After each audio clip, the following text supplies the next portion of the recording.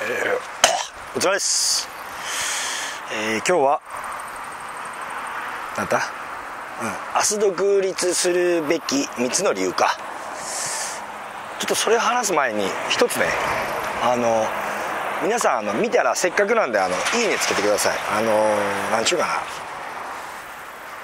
な。もともと朝6時の YouTube やったじゃないですか。で、まあ、こうやって今セミナー系の動画といろいろ上げ出したんだけど視聴が伸びないでテンション上がんねえんだ。なんか上がんないっていうかねあんまり視聴者に認められてないんだったらねと思って。でであの朝6時の現場行って撮るやつやっぱ増やしてほしいっていう声がちょっとあるんですけどなかなかね本数毎日2本3本って難しいから。でもちょっと本当にね来年中には10万チャンネル登録か2020年までに10万チャンネル10万人かチャンネル登録目指すとなると、まあ、こういうことやっていかなあかんなって思うんですけど。ちょっと俺の喋りがしょぼいもんね。知らんけど、ね、景色がいいとこでと思ってねいろんなとこで今日はね三重シリーズで三重をうろうろ土曜日にしてんだけどもともとカメラ好きだったんですよ。これ一眼レフで今撮ってんだわ、うん、結構いいやつだよ。6DM2 だったかな？そう書いてあるね、うん、こんな綺麗なところでねもうちょっとこれ映してあげようか。こんな感じで、うん、山奥で撮っとるよこれ。ね。こんな感じ？アホでしょこれ ちょっと釣れちゃった。ね。まあこんな感じですよ。まあせめて景色のいいところでとは思ってるんですけどあのー独立する明日独立するべき3つの理由っていうのをちょっと今日は真面目にセミナー動画でねお送りします。必ずいいねつけてください。これで本当にいい話するから。マジで。頑張ります。で何がじゃあ独立なんで明日独立するべきって、まあ、じゃあお前従業員抱えとるやんって、うん、従業員の子にもじゃあ独立させてあげりゃいいじゃんって言うんですけど、まあ、従業員の子うちの働いとる子たちにも、まあ、独立したけは、まあ、全然俺はするの応援だけど、まあ、うちじゃちょっと特殊じゃん。もう本当に日本一目指して勢いよくやってるから、ね、年々成長してるからもうどんどんね下っ端っつったらあかんですけど従業員下っ端だんだん後輩が入ってきてね上にどんどん上がっていくからあの経営者やってるよりも経営者、うん、実際もう職長とかなんか数字見てるしね。数字見てるってか俺数字見てないぐらい。うん。あの本当何ヶ月に1回数字会議があるもんでその時にちゃんとやってますやってませんだけで。でまあその時にまあうち年3回別でね年2回のボーナスと別で年4回あ3回かやろうって言ってちょっとやり始めたとこなんですけどでそれはもう4ヶ月目標を決めて自分たちがここまで会社成長させます。塗装班だったら塗装班だけね。でボーナスっていうのはもう全体で見るんですよ。会社全体がうまくいったらもう別に払うし会社全体がうまくいったら営業だけ一生懸命やってますとか職人だけ一生懸命やってます。もう関係ないじゃんね。だって絶対つながってるからねビジネス上、うん、でまあ年3回別でお小遣い程度だけど、うん、まあまあでも結構あるよ、うん、まあ1ヶ月分はないぐらい、うん、でまあ1ヶ月もないよな。普通の会社員の1ヶ月分ね。職人稼ぐからな半分もいかない子もおるわなと思って。でまあやってんだけど、まあ、そこその数字を見てるのは自分たち。だから俺はもう別に見てない、まあ、どこまで見てるかのレベルにもよると思うけど職長クラスだともうしっかり見てるし副職長クラスだとやっぱもうちょっと意識始まっとるよね。でまだまだ下の子たちはまだそれは順番だでね。だって一番下の子たちは数字意識できないのもいいと思うし。であ話が。脇道そういうの得意でしょ。うでそのそうそう。まあ3つの理由っていうふうか独立するべき3つの理由明日ね。でそうそう。まああの今社長と一生懸命やってて伸びててどんどん行ってる行くこれから行こうと思ってるだったら別に俺はついてった方がいいし独立する理由はままずない。あの一人でやるほどリスクがある。だって独立するってことは本当にリスクやっぱあるからさ。ああるからさって言ったら一人親方で終わっちゃう可能性がある。結局、うん、だからよっぽど頑張らんとやっぱ人を扱っていけるようにはならんと思うんですけどやっぱ3人集まりゃなんたらかんたらみたいなやつあるでしょ多分ね。俺あんまり言葉とか知らんもんであれだけどそして山の中でゲラゲラ笑って喋ってるこの俺気持ち悪いね。でそうそう。まあだから3人でもうモチベーション高い、まあ、社長がモチベーション高い。で俺はちなみにここまで行けたのは自分一人の力じゃ本当ないですよ。もう俺じゃない逆に。まあ俺も一生懸命やったけどどっちかっていうとねあの現場で一生懸命やってくれる人たちがおったしうん、まあ営業でもセンスあるやつがおった。だどっちかっていうと営業も早めに抜けた方だもんね。でいい子がいっぱいやっぱ残ってくれてその子たちがやっぱ数字の意識してな俺はまあなんかその天才だな。自分で言うのもなんだけど。うんなんか人に持ち上げてもらう天才っていうか人にもうあの先輩からも後輩からも、うん、なんかめ巡りがいいな俺は。でなんかその、まあ、気前はいいと思うんですよ。ケチだけど。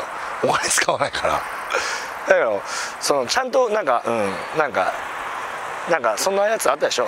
僕本結構読むんですけどチーズを山分けにしろとかさ。あとなんかご飯食っててさこうやってねみんなで。まあ、大皿に肉がいっぱい乗ってますと。唐揚げがまあ100個でも200個でもいいや乗っとると。であの欲が深いやつってさそれ全部食っちゃうでしょ自分の番になったら。これまあまあ回すと、ねまあ、そんな今時回すってないかもしれない。中華料理入って回さないでしょ。くるくる回るか。回んな感じだよ。でも回った時に自分の番になったら全部食っちまうやつって本当に商売の世界多いんだわ。飯食ってたらバレるからやんないけど。うん、あの商売の世界でやってる人結構多いな。俺もそういう人に出会ってもう今もう本当ぶつかんないけどそんな人に。あまあまあ自分たちのね好きな人たちだけしか取引してないっていうもうそこはもう会社の墓標っていうか墓標は死んだやつか。だからあの標語？標語？墓標はないな。うん。なぐらい。もう別にいいぞって。そんな単価いいからって。その付き合うなんてそんなことしてくるやつとか。いうのがもう口癖だし俺もね。社員に。うん、あの下請けやるにしろあの B2C 一般の人でやるにしろ例えば約束に。いやまあたまたま忘れてごめんねって言うなら分かるけど、うん、何回言ってもいないとかさ。約束も守れないとかさ。いやお客様もお客さんも、まあ、これあんまりこういうこと言うと農家店主であれきついけど、うん、まあゴールなんだね別に。神様じゃないでね。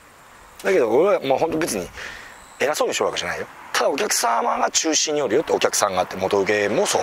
中心にある。そっちの方向いて商売しんとすぐひっくり返るけど。だけど俺が大切なのって本当はお客さんじゃないもん。従業員だもんね。だから従業員に嫌われることだけは絶対したくない。だから別に俺はお客さんにごますってお客さんのために従業員ねあの使い使い捨てみたいな感じにする必要もないし、うん、まあなんかすぐ話ずれるね。ちょっとね山のせいだこれ。山のせい。景色。そうそうあまあ3つの理由か。そうそうそうそう。だって、まあ、明日から独立すべき3つの理由。これちょっと真面目に話すわ。うんね。でいいね。絶対つけてください。よかったらね、まあ、せめてもうブーブーでもいいわ。ただその見られてて評価されててあもっとこういう話って改善していきたい。もう見られてないとなんか最近1000回も回んない時あるからさ。なんか泣いてくんだわでまず3つの理由のうち1つ。あのー、いや人脈がないからなんじゃだからじゃあつって独立しないといるけど人脈なんかもそもそもまあ関係ないしあのー、人脈をそのできるなんていうのは独立してからしかできない。俺も独立したから自分でねもちろん一人だよ。俺本当に多分どうせ親が金持っとったんでしょうとかじゃなくて本当に1からだよ。ゼロからだよ。1円からだよ。従業員で職人出る時は前借りばっかしパチンコばっかりってた。雨降ったらパチンコ行ってた。本当に。そんな人間だよ。だけど変わ変わらんとねやってけんから変わったし、うん、だからそんな人間でもまあそんな人間はもうもう人脈があって独立してんだったらまあまあそれはそれでいいと思うんだけどそういう人もいるもちろんおるかもしれん。だけどもうないんだから、うん、じゃあ今から人脈作ろう。なんかねあの出会いがあるまでってそんなんないよね。だったらもう早く一人親方になってもうそのついてってる親分がしょうもない人間だったらね、うん、素晴らしいと言ったらついてった方がいいよ。もちろん。であの独立してすればアンテナが伸びるじゃん。初めて独立してからアンテナって伸びると思うんですよ。でうちのリーダーたちもそうだよ。やっぱ職長お前明日から職長だぞって。職長になるからアンテナ伸びるんだわ。うん、決してそのアンテナが伸びてたから職長になったわけじゃないからさ、うん、だからもうまずはそんなこと考えない。まあ一人親方で自分の給料稼ぐぐらいはあるでしょ。仕事。仕事ができやねちゃんと、うん、まあまあ究極は1年やっててそこから独立でもいいよ。まあほんで1万8000欲しい2万円欲しいとか言い出すとまあまあアホかってなるけど15でもいいです。13でもいいですってね。だってあるじゃん。なんぼでもあるじゃん。俺もそうだよ。最初もともとは十何年前一番最初会社始めたのは別に認定出しみたいなとこからだよね。いろんなことで引っ越し屋の手伝いもやった。時給時給制下請けなんだけど。まあいくらだったか忘れたけど1500円ぐらいしか出んかったんだよ。だから交通費込みだよ。うんもうもう給給料の方が高いわね。だけどまあ仕事内で引っ越し。でもう行ったら女の子たちあらほんでで俺はもう体格いいじゃん。で物めっちゃ運べるじゃん。ほらもうドラッグ機使われてさ。でも女の子たちなんか休憩しながらもう女の子に命令されてたよ本当に。ギャルみたいな子たちに「タコいつ」と思ったけど「ちょおじさん」みたいな。おじさんじゃなかったけどもその時28区だな。そんで引っ越し屋の手伝いとか。もそんなんまでやったよ俺会社独立してね。だから、うんまあ、別に明日の飯には困らんし。だって芸人さんとかはそうでしょ。別に芸人なんだけど昼間アルバイトしてるじゃん。ねだからそそんなんでいいと思うんですよ。それが独立。でも芸人になならないと芸は磨けんのと同じで。お金貯めたら芸人になろうとか。で順序がちゃうわって。それは一つあるかな。はい次ね。そっぽちゃう。しかもテーマ3個あるのにもう10分喋っちゃってる。でああで人を使ってみないと人の使い方なんか分かんない。もうこれも同じだよね。先になんか俺は人なんか使えんとかねそれを覚えなあかんとか練習しなあかんとか、まあ、そんなん思っててもまあ分かんないと思うよ、うん。まあ、俺はもう最低でも人を使った経験。であの今さ違うあの10人とかの会社でまあ、5, 5人でもいいや。もう部下が3人とかおってそれって使ってるうちに入んない給料のことも考えなあかんし先輩で現場で使ってるだけそれは。だから自分が雇ってその子たちの、ね、幸せまで考えて行動しなあかんでしょ経営者って。でそれと現場の親方っていうのはもう全然違うよ。こうやって車が走るでしょたまに。恥ずかしいね。びっくりした。俺すぐそこまで気づかなかった。でそうそうそうそう、うん、だから経営者になって人を使うのとやっぱ現場のリーダーと違う。まあもう現場のリーダーも大変だのにうん。人なんか雇って使えねえよって思ってんだったらまあ思ってるけどまあなんちゅうかな、まあ、大変だけどやりがいはあるしやっぱね男、まあ、今今女の子も多いから女の子も独立してる子多いからでも一国一城のあるし女性でも男性でも職人の世界だったらまあそこしんと会社員だってさ、まあ、トヨタとかさああいうところの会社員さ給料いいじゃんめちゃくちゃ。ねだからせっかくねこんな世界でやってんだから成り上がれる世界だから腕一本でね。だって本当に手足がちょん切れるぐらいやれって俺職人にもう毎日昔よう言ったけど今でもたまに言うけど何が頑張っとんだお前らって。手足がちょん切れるぐらいまでやって頑張ったって言えってよく言うけどさ。一生懸命、まあ、独立する子に向けてるからちょっとこれつけんでねそんなにやりたくねえわみたいな。今日の給料だけもらえばいいんだみたいな。子たちはまあ別だけど独立したいんだったら自分のためにやってる。別に会社のためにやってるなんてそんなしょうもないこと言わんでいいよ。で俺もよく従業員に言うのはもう別に会社のためになんてそんなこと言ってもらわんでいいよって。そんなことしてもらわんでいいって。自分のためにやれってよく言うけどでも自分のためにやってると会社にとっても俺もだって別に従業のために本当はやってんじゃないもん。自分のためにやってんだもん。自分が幸せになりたいから従業員大切にしてるし。うんでしょ？だからそのね従業員にかっこいいなあの親父はとかあの社長かっこいいなって言われたいからやってるっていうのもあるじゃん。だから別に俺は別に人のためになんかさそのいね手足ちょん切るとかさね髪の毛抜くとかさ髪の毛もないけどそんなのできないっちゅうでしょうんだから,、うん、だからまあまあ人を使使えないなんていうのは全然いい現場でね人使った経験がありゃ、うん、分かると思うけど大変だけどさでも俺も十何年やってもうほんと100人どころじゃないもう200人ぐらい人使ったんじゃない300人ぐらいってるかなパートさんまで全部入れるとね辞めてた人入れるとで協力業者も入れると本当に500人600人って人を見てきてるわねそのお金払った方だけで上は抜きでねそれ入れるともう途方もない数でしょ。名刺交換しただけでも多分もう多分名刺交換なんか1000枚全然余裕で超えてるわ。うんそれはまあここクラスさでね。ここクラスって偉そうだけどここまでやってるんでね。俺ももう本当にもうもうもう偉そうに言えるぐらい働いてたもん。今でも今でもこんだけ働いてる。まあ今でも従業員に負けてないぐらい働いてんじゃないかな。夜でもね。まあ YouTube 見るのも仕事みたいな感じになっちゃってるけど今。寝る前に YouTube 見るとかさそれぐらいやってるけどあまあまあ話ついちゃってごめんなさい。でそうそう。まあ人を使うっていうのはもうそんなに逆に不安に思わなくていいと思うし。うん。だから人なんていうのは本当に友達でどっかの動画で俺言ったけど友達と同じだもん。うん。友達大切にできんやつがそれは従業員も大切にできんし友達大切にしたいっていう気持ちがもしあるんだったらもう俺は経営者にそれ向いてると思うけどな。全然、うん、だって友達大切にするのって自分のためでしょ。別に友達のためじゃないでしょ。本当究極は、うん、だから別に、うん、友達大切にしたいなって思いがあるんだったらそれなんとなく自分のためとか人のためとか友達のためとか思ってなくても、うん、なんとなくそういうのがあるんだったらもうで一緒にね働いてる仲間がなんとなく可愛いな教えてあげたいなって思いがあるんだったらもうそれだけで十分社長になる資格があると思うよ俺は。で最後に3つ目だよね。経営術なんてものはないか。まあ本当にこれはもうない。経営術なんか本当にない、うん、じゃあ俺13年前からどう変わってったって言ったらそのね多分ライブでやったら24時間くらいかかるんじゃねえかっていうぐらいまあありますけど術？経営術？経営手法とか何やるとか本はもうなんぼでも出とるけど別にないな。決断力だけじゃない。決断力っていうかまあなんちゅうかな。こういう感じだよね。これだけだよ本当に。YouTube なんてみたいな、うん、お前たわけ残業してでも終わらしてこいって言うなんてみたいな。そうやって言わなあかん時ある。だってお客さんが困るんだもん。今日中に終わってくれんと申し訳ないなってごめんなって、うん、今日中になんとか終わらしてくれって。いうのってすごい勇気いるじゃん。ね。それもはもうでもそれが後で俺は身についた。俺最初本当よう言えんかったもん。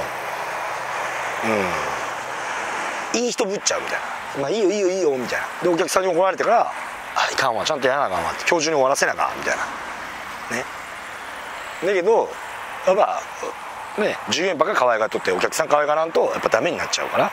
で従業員もダメになっちゃうじゃん、うん、でも俺はそれはその後からついた。経営者やってからついた、うん、で経営術って本当にそこだけなんですよ。であとはまあいろんなことでぶつかってくる。じゃあ経理のこととかってどうなんですか？とか税税税金のこととかね。もうそんなん税理士もおるし社会保険のこととかも労務士ってことそんな高い金じゃないよ。あの独立して従業員10人とかそんなもんだったら別に相談相談するだけはタダだよ。でなんか社会保険の手続きやってもらったら1回何千円払うとか1万円払うとか税金なんかは年間だって労務士なんか一人親方やってるでしょ自分で確定申告もできるでしょ。自分で申告もできるし。でそれがもうわけわからなくなってきたら税理士入ればいいし。うん、だからそんな高いもんじゃないし。で分からんくなって壁が出てきてからしか人間って対応できないと思う。いや分かんないけどね。そのさ世界にね名前が残るような経営者とかだったらさそうもうな壁が出てくる前から壁に解決できるんだけどまあ俺ら凡人でしょ？職人やってるやつ。凡人って言ったらあかんけど俺結構自分ですげえと思ってるけど、うん、だけどまあ俺のタイプはもうどう考えてもこう走ってたらなんかロードランナーみたいな感じで壁が出てきたら初めてそこから考え始めて。もうただそのね今までは自分で作業もしとったからその壁が見つからなかった見つかったよってその目の前にパーンってなってからドーンってぶつかったけどまあ今はその自分の前を走ってくれてる子もおるし後ろ守ってくれてる子もおるし両サイドねこうやってくれてる子もいろんな人がおるからそのなんか馬車で動いてるみたいな感じだから遠くから見える。で望遠鏡みたいなのももうなんか会社に装備されとるみたいな感じ？馬車だったら。だからあこれから壁が出るなってでどんな色しとんだろう？どれぐらいの高さなんだろう？ね？どれぐらい硬いんだろうって。じゃあこうやって解決しようかでそっから初めて調べ始めいいんだよね。YouTube でもそうじゃん。こんなの YouTube 最初は開け方はわけわからんじゃん。で俺本当に真面目に仕事してたから YouTube なんか本当見たことなかったんですよ。本当この1年だよ。YouTube なんか本当見たほんでもう今なんかもう目が視力がもう失明するんじゃねえかっていうぐらい YouTube 見てますよ。本当に。その勉強のためにね。いろんな人の YouTuber 自分クラスの同じ人1万チャンネル登録ぐらいの人10万チャンネル登録ぐらいの人。でまあ10万チャンネル登録ぐらいの人見てもあこれぐらいだったら別に俺いけんちゃうかって思ってるからまあこれいけるって言ってんだけどそれってじゃあ自分で壁見つけてるわけじゃん。その先になんかもう10万チャンネル登録っていう壁をもう見つけてももう大体下見が終わってる。俺はね後ろから見て。3000か4000なんですけど今。4500かな今、うん、だけどまあ10万の壁はもう見えてる。であこんなもんの壁だなっていうのはもっと近づいてったらまたいろんなことが壁がぶつかってくるのはもちろんある。でもちっちゃな壁とか小石とかね。だからだけどもう目の前に出てこないと分かんないと思うんだよな俺。だから自分が独立するってもう明日独立するでもいいし来月独立する1年後に独立って記念と問題点が出てこないと思う。なんか経営スキルがついたらって言ってさで毎日家帰ったらテレビ見ちゃうでしょ？YouTube 見ちゃうでしょ？でね友達と酒飲みに行っちゃうでしょ？だから来年独立する、うん、そのためには今日何しなあかんかって今日やるんだよね。別に明日やるわけじゃないんだわ。うん、そうそう。なんか本当にまあこれ最近よく社員に言うんですけど、まあ、これ俺の言葉じゃない。ちなみにあのあのね名古屋っていうか愛知県小牧で有名なの一郎のね言葉だけど、うん、明日明日の目標がでかすぎる。みたいなね。10年後の目標がでかすぎる。1年後の目標がでかすぎる。明日の目標すらでかすぎるってみんなね。あの一郎が言うんだよ。これもう社員にしょっちゅう言うけど俺。だけど明日の目標あ今日の目標が低すぎるっていう。で今日何やるかなんだわ本当に。うん、だから今日だ俺もね俺山行って YouTube 撮って俺今日何本撮ったろうって決めとるけど暑いわまだ3時20分。20、うん、30分、うん、で点々と会社から山の方に向かって動画撮ってってんだけどねもう多分今度山奥の動画になるよ。もう1日2日動画見た後、でまあそんな感じですよ、で、まあ、やり始めは、まあ、そんな大きい問題って本当ないな。税務と労務ぐらい。職人10人20人になってもね。であとはジムどうすんのっていうのもそん大したことじゃないよ本当、うん、別にあの税理士が今代行やってくれるよ。1万か2万ぐらいで入力なんか領収書とか全部取っといてやってくれるし全部教えてくれる。電話したら全部タダで教えてくれる。だからなんぼでも経営者の先輩がいないから独立できんとかもうそんなことはもう関係ないよ。うん。ややれ。だって今日決めることがまず目標でもいいんだよね。決めれすらできないでしょ？人間って。だからもうまず今日本当に独立してあの絶対幸せになるから。俺この後に職人10人の社長はこんな生活ができるみたいな。まあ嫌なこといっぱいあるけどいい話したのかなと思ってるんですけど、まあ、その話そのままするでね。多分明日次流れると思うんですけど、うん、だから絶対やった方がいい。うん本当に思うよ。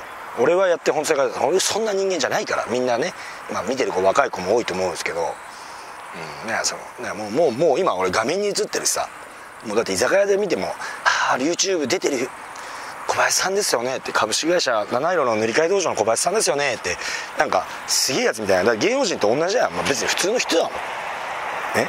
だから本当に普通以下だ。俺なんか本当に。本当だよ、うん、だから俺はまあ別にみんなこれ聞いてやっぱ独立してほしいと思ってるね。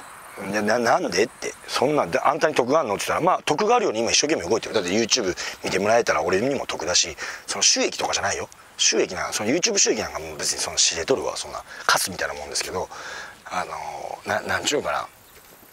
まあそのビジネスに今動いてるからね。全国でなんか塗装で日本一の塗装やってじゃあ何って言ったら店舗出すだけじゃないかなと思ってるからその職人の学校を作るだとか、まあ、いろんなこと考えてる。材料作ったのかなとか道具作ろうかとかも話出てんな今ミーティングですると。まあ社員とこういうそういうミーティングもしてんですよ今。だっていろんなことがアイデア出てるからさうわやば23分。これストップウォッチ買ったんだわ俺。